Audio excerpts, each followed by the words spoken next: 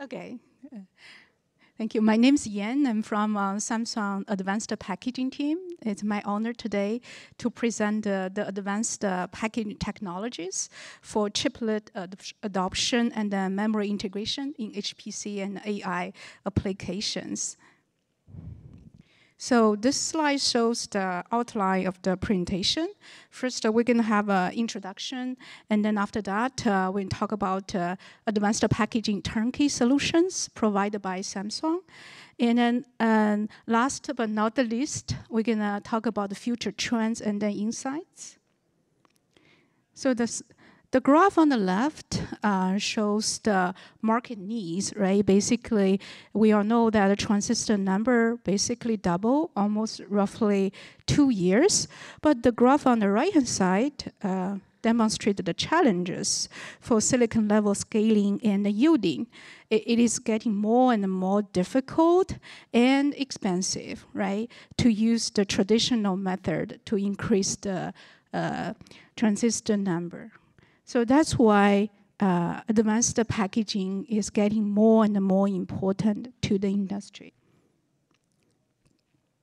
Because advanced packaging could enable chiplet heterogeneous integration and also enable die stacking, right? It can uh, make the high yielding small chips uh, and then integrate them together, and then allow you to choose optimized process selection. You really don't have to uh, use all the advanced node, right? And then it could also enable modular design. Design reuse and the mix and match makes it possible, right? And also die stacking uh, in advanced packaging technique could dramatically uh, reduce the uh, device footprint.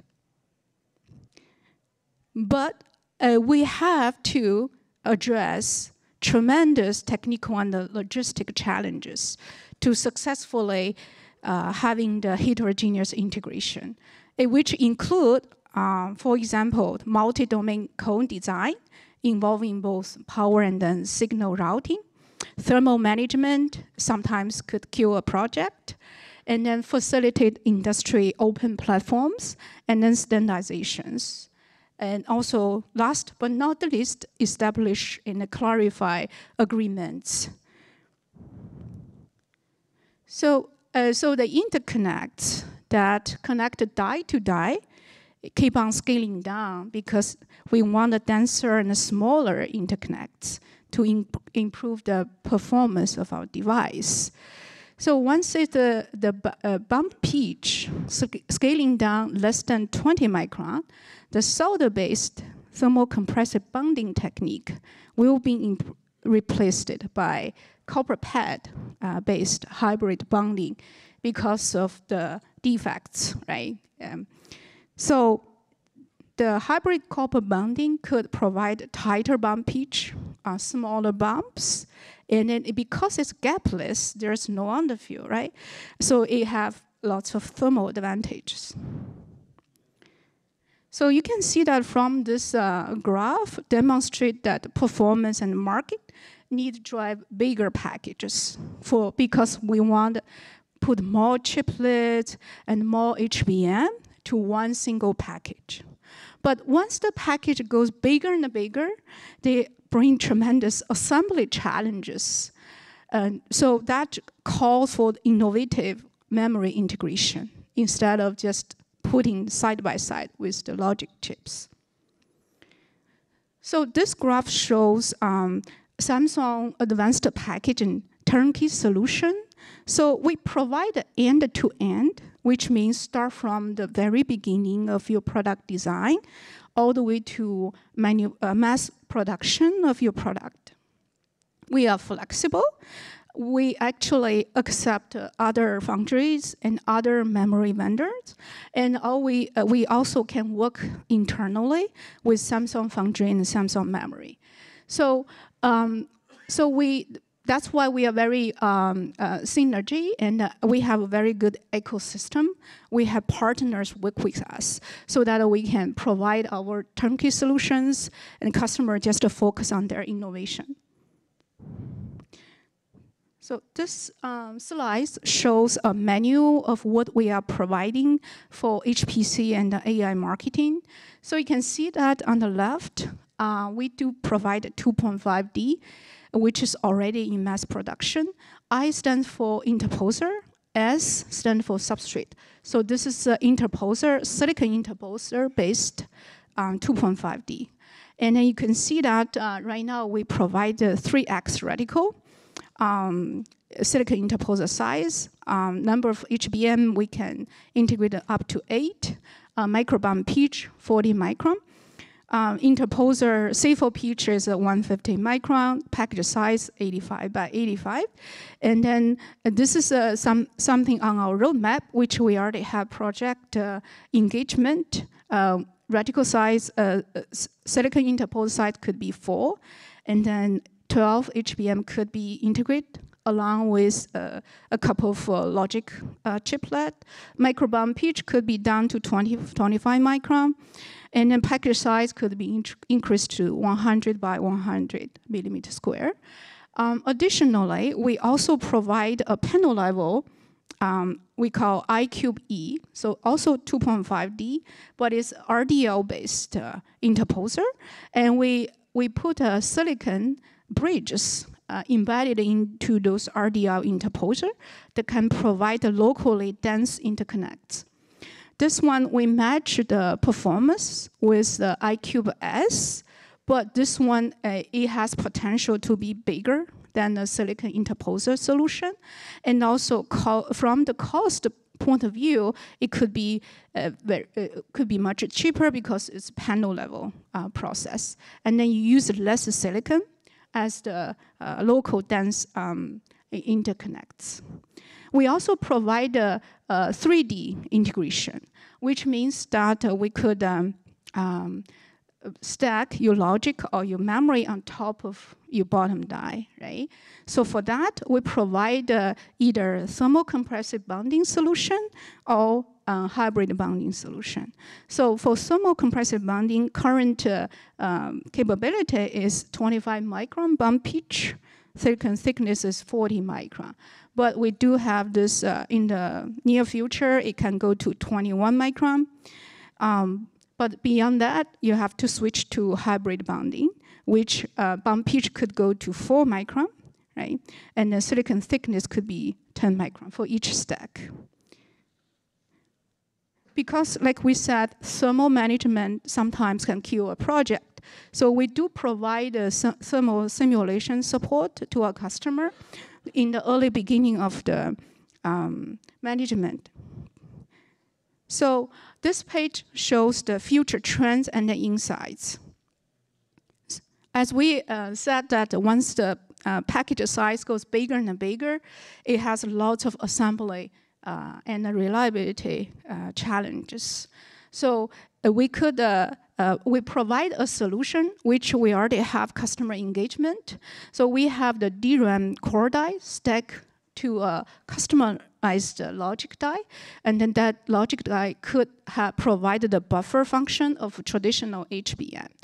In, the, in by doing that, we can save 40% uh, uh, power and then also 10% less latency. We also have a, a solution which we could uh, uh, having cache DRAM stacked on a, customized uh, uh, logic die. This could also provide 60% power efficiency and 50% latency. This is more kind of like future project.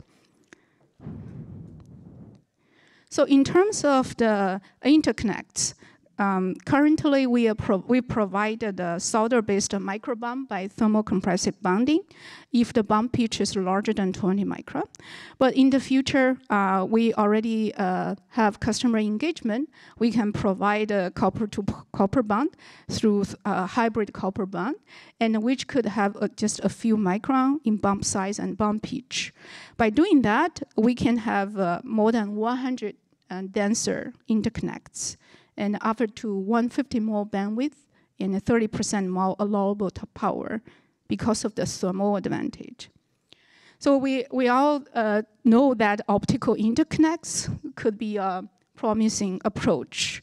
Uh, in, in the future because uh, it, it could provide ex- exceptionally high bandwidth densities by using optical, optical I/O, and also has ultra low power consumption per bit and per distance. That's the beauty of optics, right? We do observe there are two trends in the industry to further develop this optical I/O.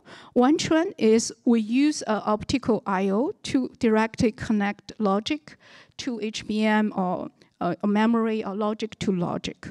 Right. The other trend is we use optical I/O to connect the logic uh, package versus and, and also memory package, basically disaggregation, right? So that's the other trend. Um, we are working together with our partners to make this happen. So if you are interested, please feel free to talk to us, and that's our also our future uh, trends and insights. So this is our group. We are based in San Jose and um, First Street. So feel free to send us email or visit us. We are happy to collaborate with you. Thank you.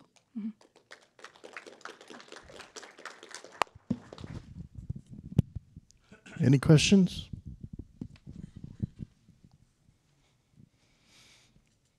Yeah.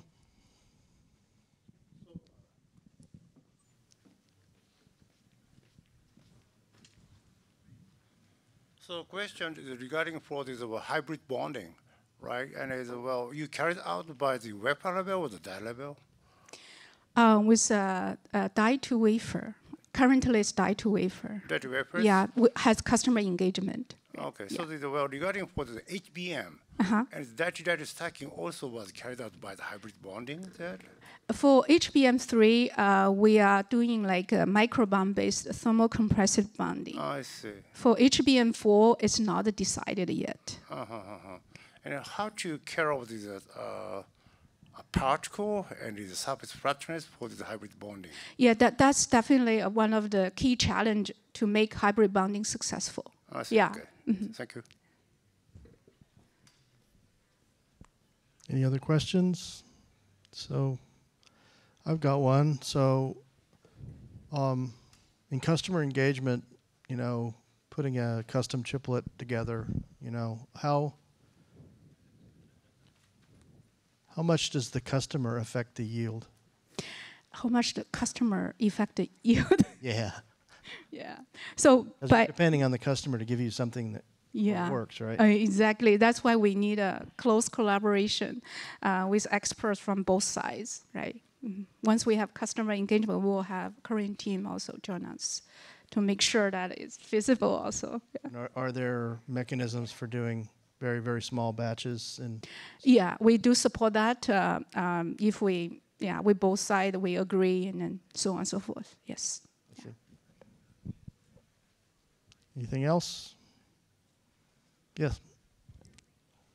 Um, about the hybrid bond, right? You mentioned you, you are working on a die to wafer hybrid bond. Uh, is there any plan or schedule for wafer to wafer?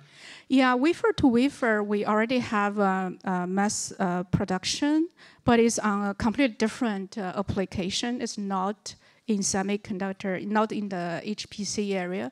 Uh, if there is a need, um, we should be able to uh, start that. But for mass production and then for the roadmap on on the pack, advanced packaging, currently we we have only die to wafer. Uh, but there, if there's a need, uh, we are kind of flexible. We do have that technology, you know, in house. Okay, let's thank our speaker. Thank you.